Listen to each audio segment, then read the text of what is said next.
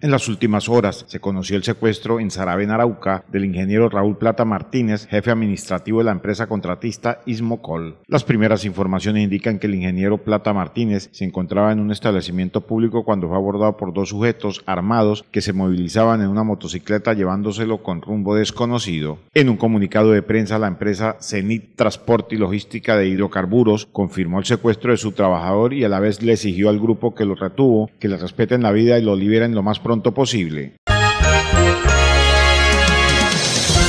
Nuevamente el oleoducto Caño Coveñas fue dinamitado en el área rural del municipio de Arauquita. La empresa Ecopetrol, al conocer el atentado terrorista, de inmediato activó el plan de contingencia en los municipios de Arauquita y Arauca. El crudo quedó en un cráter cerca de donde se presentó la voladura sin causar derrame en la capa vegetal o algún afluente del sector.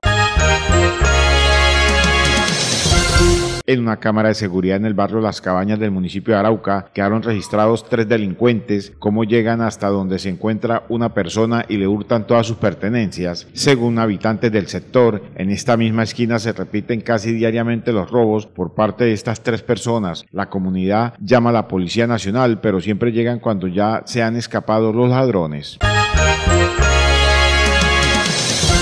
La Policía Nacional en el municipio de Tame capturó a un líder indígena por el delito de abuso sexual en un menor de edad. Según el comandante del Departamento de Policía de Arauca encargado, coronel Nelson Arevalo, este indígena era quien lideraba los programas de infancia y adolescencia en estas comunidades indígenas de la Cuna de la Libertad. La Liga Colombiana contra el Cáncer logró vacunar más de 150 niñas en el municipio de Arauca contra el virus del papiloma humano. Esta campaña se realizó en el Colegio Santa Teresita con el fin de prevenir el cáncer de cuello uterino en la capital araucana. En el mes de septiembre nuevamente llegará la Liga Colombiana contra el Cáncer al departamento de Arauca con otra campaña.